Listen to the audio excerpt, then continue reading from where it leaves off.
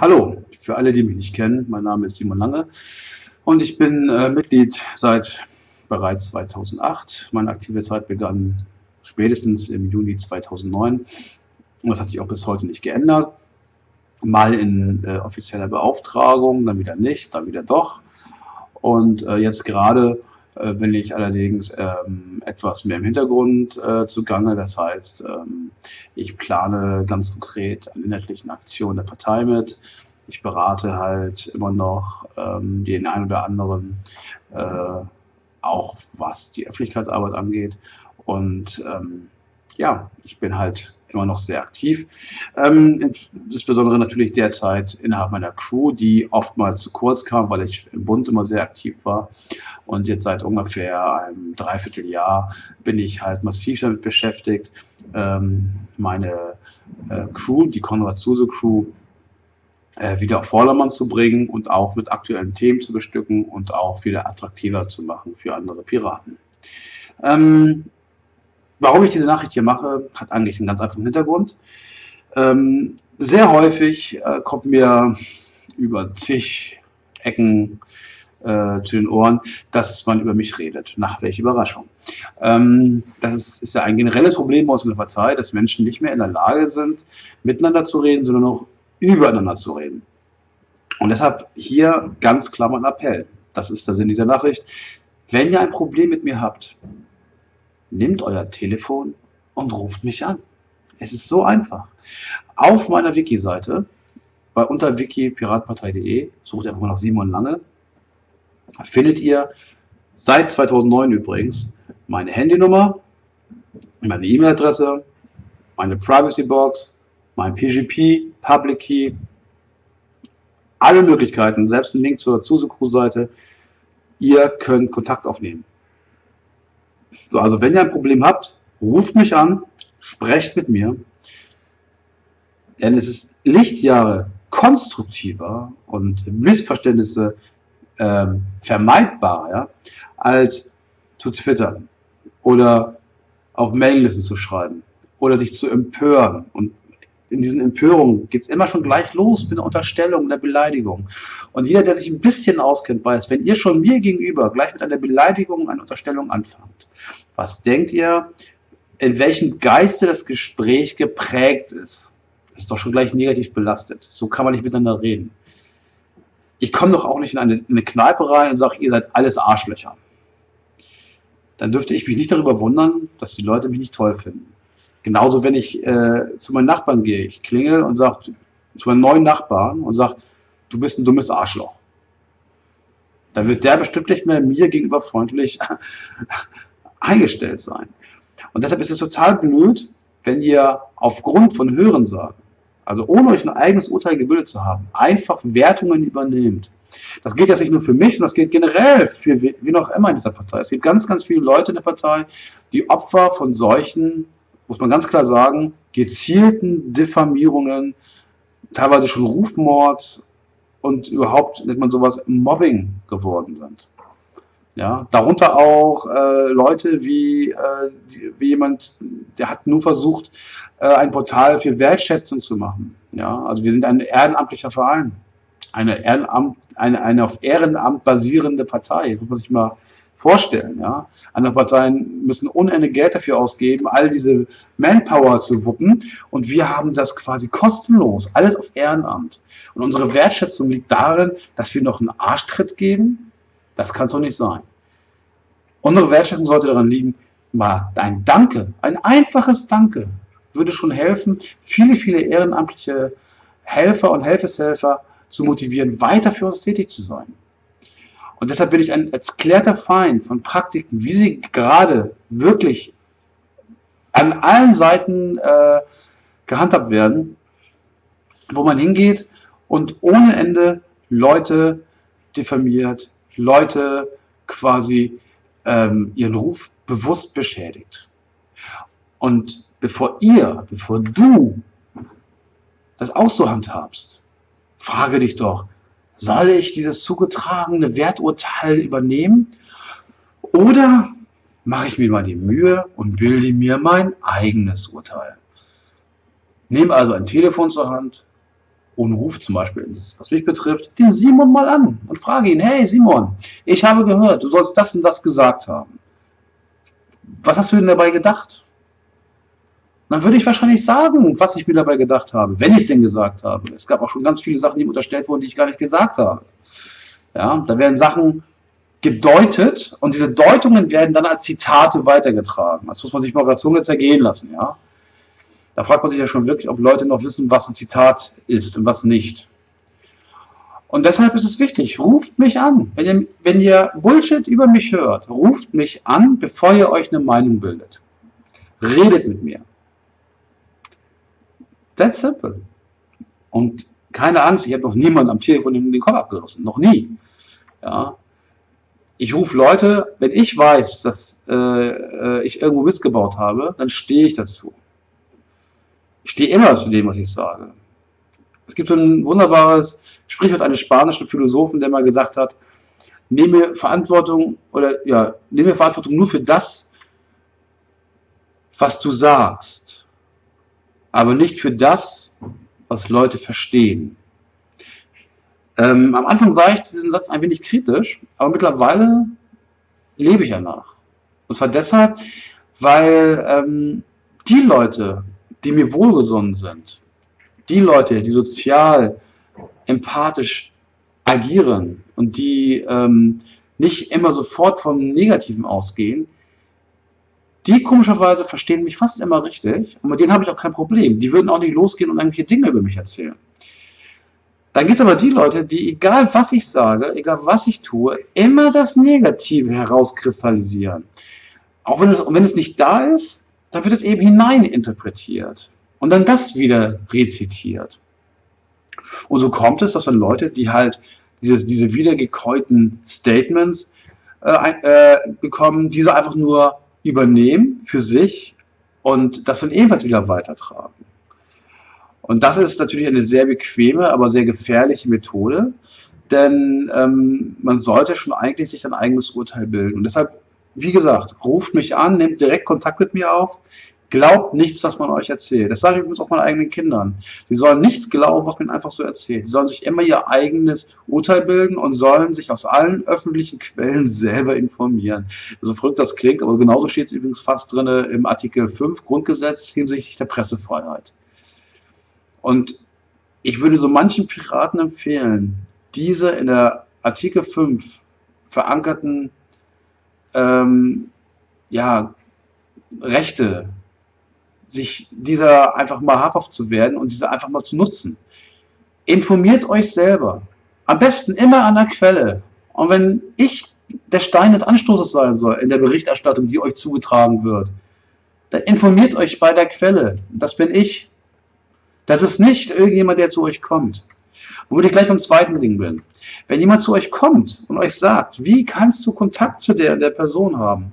Das betrifft nicht nur mich, das betrifft auch andere. Wie kannst du zu der Person Kontakt haben? Mit der reden? Der auf Twitter follow? Oder befreundet sein bei Facebook? Wie kannst du das tun? Dann fragt euch, wie kann diese Person es wagen, euch vorzuschreiben, mit wem ihr Kontakt habt, mit wem nicht? Das ist doch mal die Frage. Wo ist der Respekt dieser Person euch gegenüber bezüglich eurer unabhängigen Handlungsrechte? Also ihr habt doch das Recht zu handeln erstmal wie ihr wollt, solange ihr niemanden dabei schadet. Also der schöne alte Ansatz von Voltaire. Die Freiheit des Einzelnen endet an der Freiheit des anderen. Ja? Also wie kommt so eine Person euch so auf euch zuzukommen und äh, euch derartige Unterstellung zu machen oder solch, so in, in einer für irgendeine Form von sozial-emotionalen Druck euch auszusetzen. Teilweise wird das ja noch überspitzt, so nach dem Motto, wenn du ähm, zu dieser Person Kontakt hältst, dann muss ich davon ausgehen, dass du dir die Ziele, die Erklärungen, die Statements, die, die, die Standpunkte dieser Person zu eigen machst. Was natürlich totaler Unsinn ist. Ja, ich habe äh, Kontakt zu einer Vielzahl von Piraten. Viele davon im Amt, viele davon im Mandat, viele davon auch jetzt gerade Kandidat. Gute Freunde von mir. Und ich kann euch sagen, sie haben nicht immer dieselben Ansichten wie ich. Ich äh, streite gerne. Und jeder von denen kann das gerne bestätigen. Ich nenne jetzt allerdings konkret keine Namen, weil ich das vorher mit denen nicht abgesprochen habe. Aber diejenigen welchen werden jetzt wissen, dass sie angesprochen sind und werden das wahrscheinlich auch bestätigen innerhalb ihres sozialen Umfeldes. Das heißt, wer mich kennt, kennt mich als jemand, der gerne diskutiert, der offen für Argumente ist, auch für absolut andere Standpunkte. Und dabei ist es mir auch völlig egal, ob jemand, und auch, um das auch mal konkret zu sagen, mir ist es völlig egal, ob jemand ein uralter Altkommunist ist, ein Stalinist ist, ob er, pff, ist mir völlig Wurst, irgendwelche Ismen glaubt, ist mir völlig Wurst, soll er sein. Ja? Piraten standen immer für Pluralität. Ja? Und in jeder Partei, auch in der Altparteien, gibt es immer bestimmte Flügel. Die sind halt teilweise extrem konstruktiv, teilweise sogar schon rechts. Es gibt auch extrem linke Flügel, teilweise sogar schon Ultras, wo man denkt so, mein Gott, oh Gott. Aber all das gibt es. Und trotzdem existieren die weiter. Und das kann doch nicht sein, dass gerade die Partei, die sogar ausdrücklich den Pluralismus auf die Flaggen geschrieben hat, damit ein Problem hat. Wir sollten uns nicht von Minderheiten und von, von absoluten Minoritäten die, die Richtung diktieren lassen. Egal aus welcher Richtung, egal aus welcher Flügelfraktion das kommt. Ja? Wir sollten meinetwegen mit ihnen diskutieren, sie vielleicht auch umstimmen mit guten Argumenten. Das wäre doch mal ein demokratischer Ansatz. Worauf wir achten sollten, sind also nicht Meinungen oder abweichende Meinungen, sondern worauf wir achten sollten, sind Methoden. Und was Methoden angeht, da haben wir in dieser Partei ein echtes Problem. Denn wir haben Methoden in Form von Bevormundung, Verleumdung, Diffamierung, sprachlicher Gewalt, tatsächlich, tatsächlich sogar physischer Gewalt, Erpressung, Nötigung. Und das sind alles keine Hirngespitze und Verschwörungstheorien. Ich habe massenhaft an Beweisen, einstattlichen Bezeugungen, Sachbeweisen wie Mailverkehr etc die das belegen. Und es wäre eigentlich ein Organ, dagegen vorzugehen. Jeder von uns, ich denke ihr auch, würde erwarten, dass wenn in eurem Landesverband, Kreisverband, whatever, derartiges vorgeht, dass nach Kenntnisnahme das höchste Organ eurer Gliederung dagegen vorgeht. Unabhängig, ob die, die jeweilige Person ein Freund oder ein Feind ist, in Anführungsstrichen. Sondern hingeht und den Sachverhalt klärt. Objektiv, möglichst objektiv, so gut es eben geht. Das ist auch der Grund, warum wir einen Vorstand haben, der nicht aus einer Person besteht, sondern aus mehreren, damit eben möglichst Objektivität auch erreicht werden kann. Weil das für eine Person natürlich alleine schwerer ist, als das für eine Gruppe von vielleicht vier, fünf Personen. Ja? Genau nämlich, um halt Vorteilsnahme zugunsten einer, einer Personenwahl, Freund, zu vermeiden. Und ähm, es ist wichtig, dass da die Organe aktiv werden. Quasi, dass sie den Prozess der innerparteilichen Heilung unterstützen und ihn nicht noch gefährden und noch alte Wunden wieder aufreißen oder konstant Wunden vom Verheilen, äh, vom Verheilen abhalten. Und deshalb ist es wichtig, dass ihr als Mitglieder damit anfangt. Wenn die Organe es nicht hinbekommen, lebt ihr es vor. Sprecht an, wenn euch jemand anspricht und sagt, wie kannst du mit dem Kontakt haben. Dann sagt dieser Person auf den Kopf zu, wenn du noch ein einziges Mal mit einem derartigen Anliegen auf mich zukommst, ich soll den Kontakt mit einer Person abbrechen, dann werde ich den Kontakt mit dir abbrechen. Denn ich als Pirat lehne jegliche Art der sozialen Bevormundung komplett ab. Niemand hat das Recht, mir vorzuschreiben, mit wem ich zu kommunizieren habe und wem nicht. Wo sind wir denn bitte? Wir haben Grundrechte. Und eines der Grundrechte ist unter anderem auch, dass ich mich in meiner, in meiner persönlichen Entfaltung nicht zu rechtfertigen habe.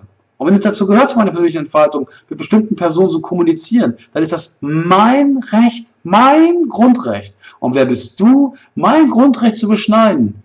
Nur weil dir irgendwas nicht schmeckt. Und oftmals ist es bei solchen Leuten auch so, dass sie die Person, die äh, jeweiligen Person nicht mal kennen. Ja? Und eben weil sie die Person nicht kennen, glaubt solchen Sachen nicht. Macht euer eigenes Urteil. Redet mit den jeweiligen Personen. Wenn sie über mich reden, redet mit mir. Versucht Kontakt aufzunehmen. Und im Zweifelsfall glaubt der Sache eben nicht. Lasst euch nicht unter Druck setzen. Und ein letztes Wort zur Konrad Zuse Crew. Was ich besonders perfide finde, ist, wenn Leute dann plötzlich gegen meine Crew schießen.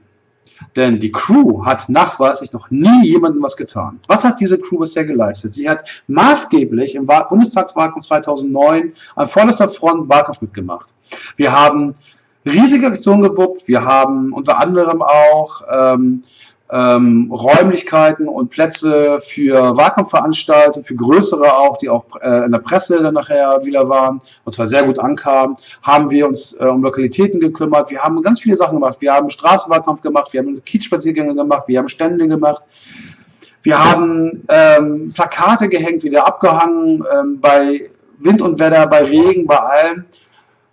Und das haben, wir haben immer der Partei geholfen, wo wir konnten. Auch jetzt gerade sind wir immer noch dabei, äh, für die Partei Aktionen anzuleiern. Ähm, wir haben auch in den letzten Kampagnen, auch laufenden Kampagnen, sehr häufig äh, für die Partei ähm, Aufgaben übernommen und haben Sachen sehr konstruktiv nach vorne gebracht.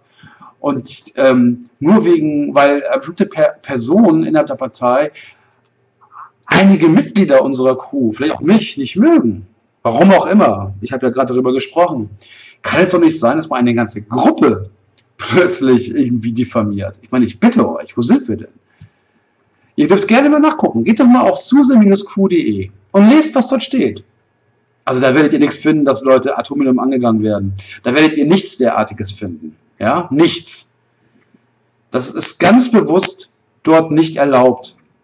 Selbst wenn äh, innerhalb unserer Crew äh, Anliegen kommen, ich möchte ganz gern der, den, den Artikel äh, schreiben. Da sage ich als Chefred nicht selten, sorry, mach das bitte auf deinem Privatblog. Ähm, wenn du jetzt irgendwie ein Metathema daraus machen kannst, wo du einfach das Muster aufzeigen kannst, auch belegen kannst, dann kannst du da gerne einen Artikel zu schreiben, dann, äh, aber alles andere hat da nichts zu suchen. Ja, ich schreibe meine privaten äh, Blogbeiträge auch nicht auf der Zuse-Seite, die schreibe ich auf meinen eigenen Blog, Simon Lange EU, by the way, wenn ihr mal da gucken wollt. Also mit anderen Worten, es gibt keinen Grund, gegen die Crew zu feuern. Die Crew ist euer Freund, sie ist die älteste Crew Berlins, wenn nicht sogar der Partei. Äh, viele Crews in Berlin sind unsere direkten Abkömmlinge. Da müsste man sich aber gleich fragen, irgendwie, wenn, die alle, wenn wir so böse sind, was ist mit unseren Abkömmlingen? Aber da sei dahingestellt. Und, oder sind Crews, die deutlich nach uns gegründet wurden. Und ähm, wir verkörpern nach wie vor das alte Q-Konzept. Das heißt, ein sehr lockerer Umgang, ähm, es soll halt eine maximale Partizipation möglich sein. Das heißt, bei uns darf wirklich jeder vorbeikommen. Hey, wir hatten sogar schon Leute von der CDU hier. Wir haben irgendwelche Esoteriker schon hier gehabt. Wir haben Leute gehabt, die für den Weltfrieden eintreten wollen. Wir haben die verrücktesten Figuren schon da gehabt. Philosophen haben wir auch regelmäßig mal da. Also ich würde sagen, wir sind für, eigentlich für jeden offen diskutieren trotzdem mit den Menschen, auch wenn wir eigentlich ihre Standpunkte ablehnen, wie wir zum Beispiel hatten, als die CDU hier waren. Aber die haben sich zum Beispiel sehr gut verhalten. Und wir hatten auch eine sehr konstruktive Diskussion mit denen. Natürlich äh, sind wir weit davon entfernt, deren Standpunkte zu übernehmen, ja. So wie die wahrscheinlich auch äh, meinen davon entfernt sind, unsere Standpunkte zu übernehmen. Aber es war einfach mal ein interessiertes, gegenseitiges Kennenlernen im Kiez hier. Und das, genau das würde ich vielen wünschen, dass viele einfach mal über den Tellerrand schauen. Ja, weil wenn man sich immer nur in der eigenen Peer Group bewegt, dann kann man ganz schnell den Kontakt zur Wirklichkeit verlieren. Und deshalb, habt ihr ein Problem mit mir, ruft mich an. Habt ihr ein Problem mit der Zuse Crew, kommt vorbei, informiert euch. Aber glaubt nicht jeden Scheiß, der euch zugetragen wird. Und schon gar nicht von Leuten, die weder die Crew kennen, die noch nie hier waren, die mich nicht kennen, die mit mir noch nie gesprochen haben. Glaubt ihnen nicht. Und was Twitter etc. angeht, Leute, Twitter ist ein Trollmedium. Wer komplexe Diskussionen auf einem Trollmedium verlangt, den kann ich auch nicht mehr helfen. Allein schon, dass man jeglichen Sachverhalt, den man vernünftig ausführen will, in 140 Zeichen Häppchen quasi verpacken muss, ist absolut untragbar, weil wer da mir, jetzt mal sprichwörtlich gesprochen, ins Bein pinkeln möchte, dem ist das ja super einfach gemacht. Wenn ich zum Beispiel einen Sachverhalt für mich darlegen möchte, brauche ich ja mindestens vier, fünf Tweets. Ja? Das heißt, er nimmt einfach einen raus, der ohne den Kontext der anderen Tweets natürlich völlig bekloppt aussieht. Und dann wird der komplett entstellt einfach weitergetragen. Und er wird interpretiert. Da hat er mit das und das gemeint, ganz böse. Ja. Und was übrigens diese besondere Aufmerksamkeit gegenüber meiner Person angeht, jetzt kommt etwas, das eigentlich ich nie gedacht, dass ich das mal so sagen muss, aber ich bin ein ganz normaler Basispirat. Wisst ihr, was das bedeutet? Ich bin eine Privatperson. Ich bin nicht von öffentlichem Interesse. Bin ich nicht. Null. Ich bin also vollkommen im Genuss meiner Persönlichkeitsrechte. Und wenn ich am Stammtisch, nennen wir es mal, um eine Analogie zu einem Tweet zu nehmen, ja, ohne sich einen Hashtag verwende und so weiter. Also quasi nur meine kleine Mini, Mini, Mini Peer Group. Wenn ich in diesem Rahmen mit dem anderen Piraten kommuniziere, dann geht das genau die Leute an, die in diesem Tweet benannt sind. Ja, niemand sonst. Und schon gar nicht die Partei. Denn auch wenn ich Mitglied einer Partei bin, habe ich nicht eine Bestallungsurkunde unterschrieben, welche die Partei zu meinem Vormund macht. Und das gilt auch für euch. Die einzigen, die sich messen lassen müssen an dem, was sie schreiben, und zwar egal wo, ob ein Twitter, Mail, wo auch immer, sind die sogenannten Repräsentanten. Also Beauftragte, Amtsinhaber, Mandatsträger. Diese drei müssen sich messen lassen. Na? Also meinetwegen noch Funktionsträger, aber die sind in der Regel auch beauftragt. Siehe zum Beispiel Sicherheit am BPT. Ja, das ist dasselbe in Grün. So, und nur die müssen sich in irgendeiner Form nachher rechtfertigen für das, was sie tun sagen. Also, in diesem Sinne, ruft mich an, wenn ihr ein Problem habt. Und bitte, arbeitet in euch. Ich arbeite auch an mich. Also bis dann. Ciao.